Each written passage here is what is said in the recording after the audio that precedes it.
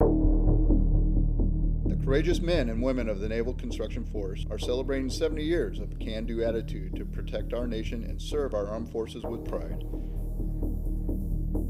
Seabees are leading the way when disaster strikes, providing first response recovery and rebuild to locations all over the world.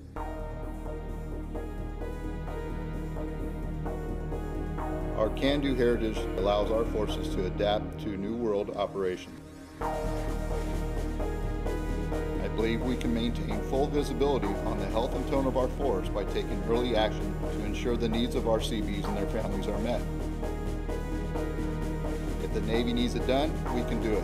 The difficult we do it once, the impossible takes a little longer.